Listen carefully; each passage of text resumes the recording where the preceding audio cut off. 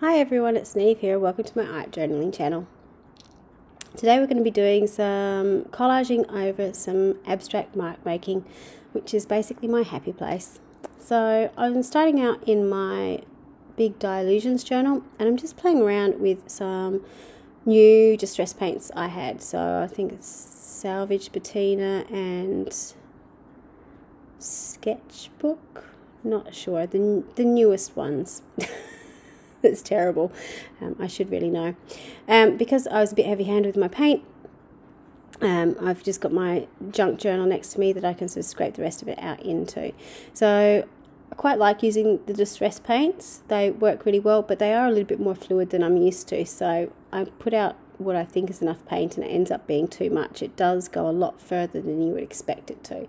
But you can see it's got a beautiful dry, uh, beautiful dry. It's got a beautiful matte finish to it.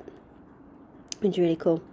So this is one of my favourite stencils. It's a Stencil Girl stencil. I think it's a Carol, Carolyn Dube stencil.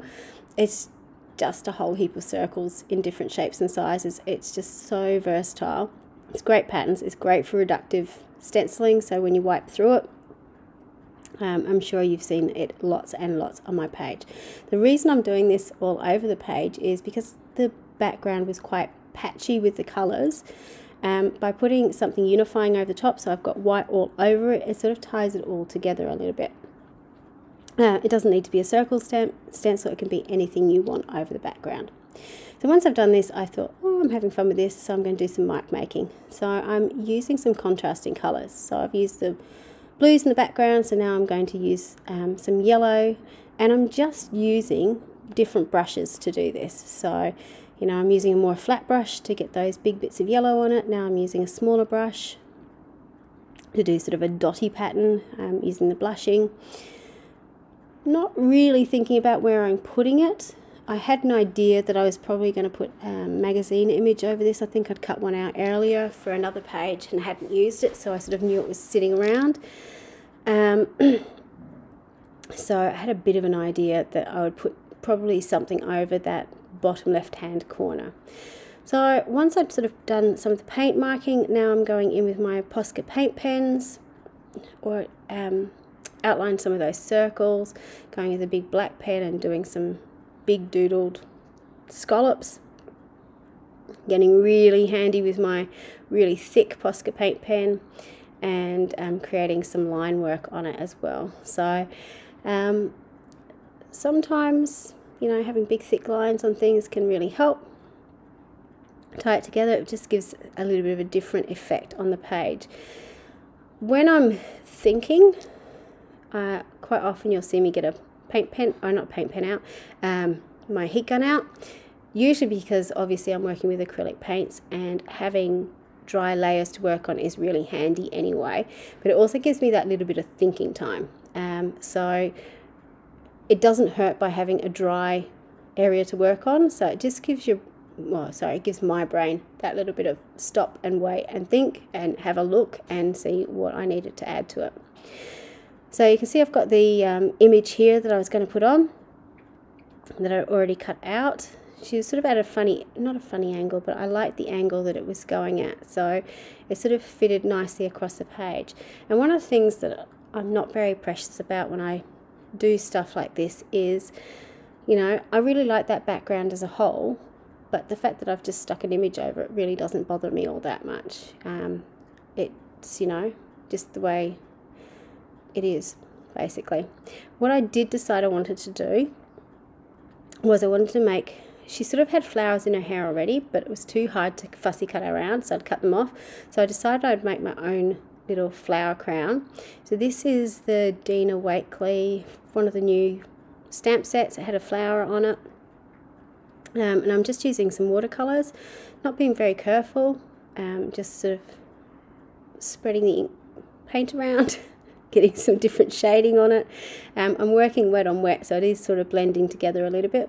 And obviously you could use any medium to colour these in. I just want to be quick and fast and use something that wouldn't take too long to go. So I'm also putting in some leaves, um, which obviously came with the stamp set, but I thought it might be handy to fill in any gaps as I was going around. So again, just drying it off as I go. You'll notice the colours I've used in the flowers are similar to the colours I've used in the background. Um, I don't think that was necessarily intentional, um, but it was handy. So if you are stuck for the colours that you're going to use, repeating colours on your page is usually a really great option. So I had those yellows and sort of pink shades in the background. Um, so by repeating those, that was it was always going to work on that page, if that makes sense. Now I'm just going in and working out how many flowers she needs in her head. Um, you can see I've sort of got the greenery there, filling it in. Um, and I'm quite pleased with how my little crown turned out. The um, only issue is um, remembering where they all go back in in the end. I also decided I actually wanted to make the black lines a little bit darker on this. I could have restamped over the top of it, um, but I chose just to use my black Stabilo All pencil and just draw over it. It's just as quick and easy as trying to line up the stamps and restamp it. Um, but if you're really not 100% sure, because it was fussy cut down to the size of the stamp, um, it would have been fairly easy to stick the um, cut image over the top of the stamp in the right area. So um, it's not too difficult to find. I'm now just gluing down the leaves and filling in the little gap areas. And when I finished, I decided I wanted to add some more colour to her clothing. So again, I'm using similar colours that I've used in the background. Um, so I've sort of got that turquoisey blue. I'm just outlining all the lines that you could see on um, her top and then just adding in the extra, putting in rosy cheeks, putting in a bit of winged eyeliner and eyelashes and one of the things I tend to always do with my magazine collages is to outline everything with a black pen. So the reason for that is it gives um, the image a more two-dimensional, almost a cartoony feel. It's just something I like.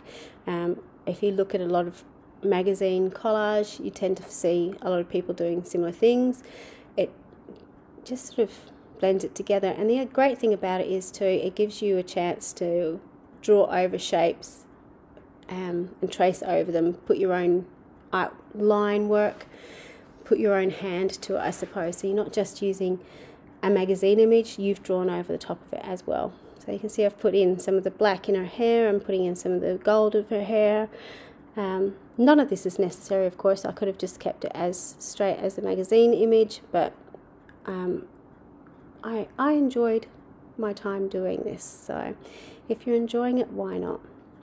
I was struggling with her chin though. I made it really dark. So just, just be aware. Sometimes you can be a little bit heavy-handed with it all.